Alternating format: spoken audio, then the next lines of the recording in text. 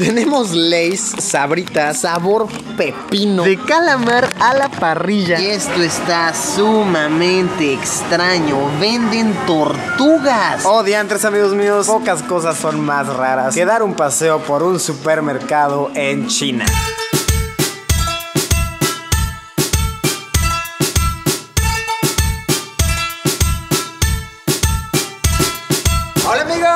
Día más en China, un día más intentando ser parte de este bello país y hoy en un intento más de continuar comprendiéndolo, iremos a ver cómo es un supermercado común y corriente en esta parte del mundo. Miren aquí, cruzar una calle en China es bien difícil, aunque yo tengo el verde de peatones, miren eso. Las motos se pasan así como si nada, miren, ahí viene otra. Eh, yo me paso porque quiero. De verdad que las motos y las bicicletas aquí creen que están exentas por completo de la vialidad. En China, por lo que he notado, los peatones están hasta abajo de la tabla de prioridades. Ahora sí, comencemos. Desde que llegué he estado viendo justo enfrente de mi hotel este supermercado que se llama el Century Mart. Nunca he entrado, esta va a ser la primera vez que tenga yo contacto con un supermercado auténticamente 100% chino. Y no hace falta remarcarlo, estoy muy ansioso por ver qué locuras encontraremos ahí adentro. Por cierto, me parece importante mostrarles los lugares que rodean al supermercado. Por aquí tenemos un Starbucks. Que los Starbucks son algo diferentes de, de este lado del mundo. Ya después en algún video les contaré cómo son las franquicias americanas en Asia, en qué las han convertido. De verdad es algo muy muy interesante. Por aquí tenemos un lugar de puros wontons y este de aquí es un lugar que me parece sumamente inusual. Es algo así como una tienda en la cual se venden únicamente partes de pato. Entonces te venden como las patas del pato, el cuello del pato, la cabeza del pato, el pato entero así colgado. Igual después en otro video entraremos en pleno detalle de las cosas que venden en ese tipo de tiendas. Tiendas de pato, tiendas patales, he optado por denominarlas. Bueno, nada más que agregar, entremos al supermercado chino. Comencemos con los carritos.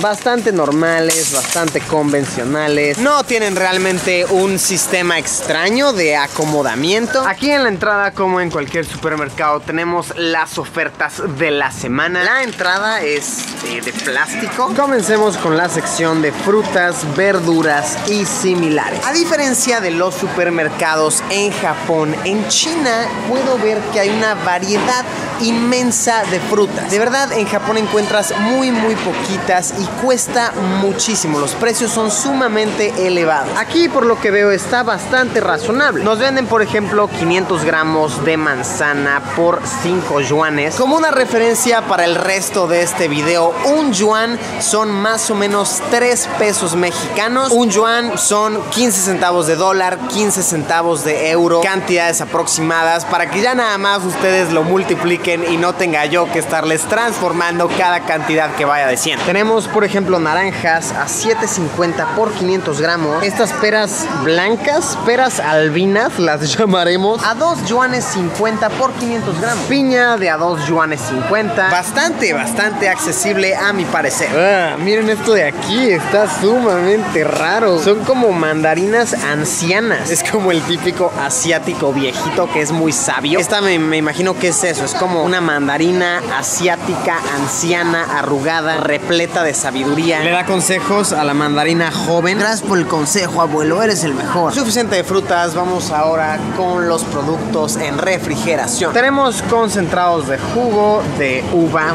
de naranja, de toronja, bastante normal, bastante convencional. Miren esto, Yakult al parecer es un gran hit. Las botellas son como del doble del tamaño de las que venden en América. Bastante anchas, bastante prominentes. Y esto de aquí está muy chistoso. Ya les había yo mencionado en algún video anterior que a los asiáticos, especialmente aquí en China, les encanta poner todo en banderillas. Y esto de aquí simplemente lo comprueba. Comer de un palo es el hit aquí, les, les encanta, les fascina. Y si hablamos de comida de microondas, al parecer estos panecitos rellenos son lo más común que hay. Sí, he visto que te los sirven en muchísimos lugares rellenos de cualquier cosa que te puedas imaginar. De huevo, de carne, de pescado, de verduras. Y viendo cuánta variedad existe de estos panes, no cabe duda, les encantan, les fascina. Llegamos a la parte de carnicería. ¡Wow! Patitas de cerdo así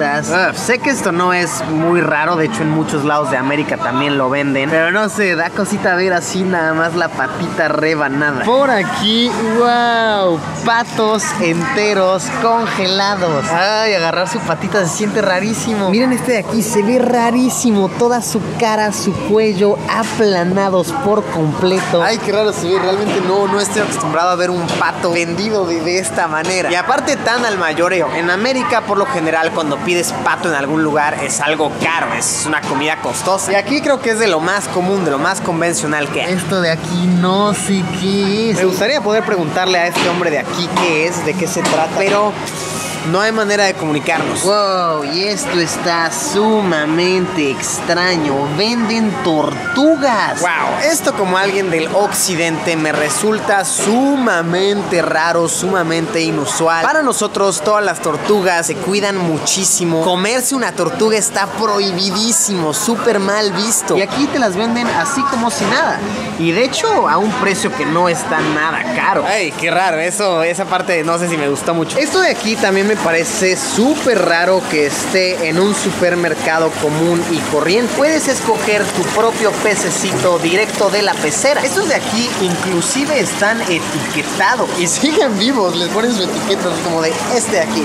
Peces, demasiados peces que puedes escoger. Más cosas posiblemente vivas que puedes escoger para poner directamente en tu mesa. Esta zona me pareció muy muy extraña. Hemos concluido con toda la planta baja del supermercado. Aún nos falta un piso entero lleno de locuras, lleno de descubrimientos. Oh sí, oh qué deliciosa es la vida. Posiblemente mi sección favorita en todo el supermercado, en todo el mundo, la sección de dulces. Tenemos gelatina de papaya. Papayón hecho gelatina. ¿Qué es esto de aquí? Milky soda. Como soda lechosa. Esto por supuesto que también me lo tengo que llevar. Debe saber súper, súper raro. Y posiblemente el dulce asiático más conocido en todo el mundo, los palitos Pocky. Les digo, a los asiáticos les encanta comer todo en palo, inclusive sus dulces. Ay, hay muchísima variedad, muchísimos sabores exquisitos. Estos de aquí son de té verde, de matcha. Esto de aquí no sé qué sea, como crema pastelera, algo así me imagino. Ay, de moritas azules deliciosas. Té verde diferente, como más lechoso. De pizza, de chocolate doble. De alga, wow, qué raro está esto. Este de aquí es de mousse de mango. Uf. De lechita, milk flavor. Palito sabor flan. Esta mujer asiática se ve que en verdad los disfruta. Los más comunes, fresa, chocolate. Tiramisú. ¡Wow! ¡Qué demonios! Y de vino rojo con chocolate. ¡Qué locura! Quiero llevarme diversos de estos sabores. Ya quiero saborearlos todos. Las Oreo, al parecer, también son bastante populares. Tenemos diversos tipos de relleno. Este es como de frambuesa con mora azul, durazno con uva verde. Este es como de relleno pastelero, como de merengue. Una completa fiesta, un pachangón. Rellenas de tiramisú. Al parecer el tiramisú es muy popular aquí. Es, es un sabor que he visto en muchas cosas. Y este de aquí, digo, no entiendo. Pero voy a decir que es como menta o té verde. Más posiblemente té verde. Ay, qué rico. Los chinos son fanáticos de los dulces. Ya son mis aliados. Ya este país me va cayendo cada vez mejor. Y si creían que habían visto sabores locos de papas.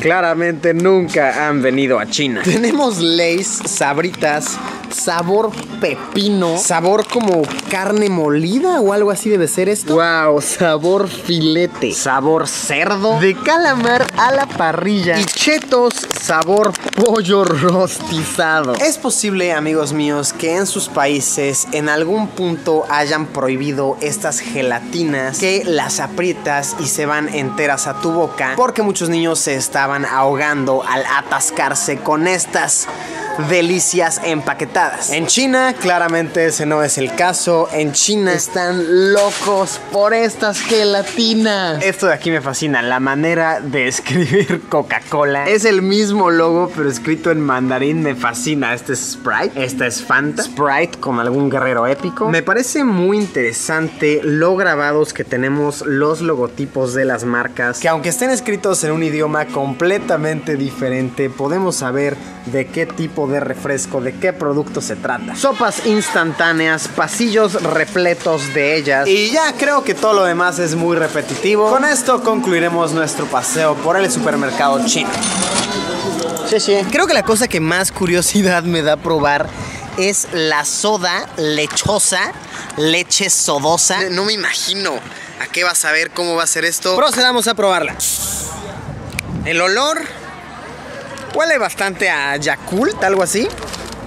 ¡Wow! El sabor es simplemente majestuoso. Nunca creí decir esto en mi vida. Me gusta eh, el refresco de leche. Ah, uff. Pequeñas cosas que uno va descubriendo de sí mismo. Por eso mismo es que nunca es bueno dejar de probar cosas nuevas. Decir ya estoy bien, así estoy bien. Siempre intentar probar algo nuevo en cada viaje, en cada travesía que realices. Y bueno amigos míos, con esto concluimos este video. Con esto concluye esta travesía por un supermercado chino. De verdad me parece fascinante conocer cómo realizan sus compras en una cultura completamente diferente, cómo se alimentan, qué es lo que más crece aquí, qué es lo que más se vende. Creo que es un aspecto muy importante, un aspecto muy útil si se quiere conocer más a detalle el estilo de vida de un país. Muchas gracias por haberme acompañado en una aventura asiática más. En verdad espero que les haya gustado, que la hayan disfrutado y nos vemos en unos días con un video nuevo. Adiós, Pimpollo que realiza compras asiáticas.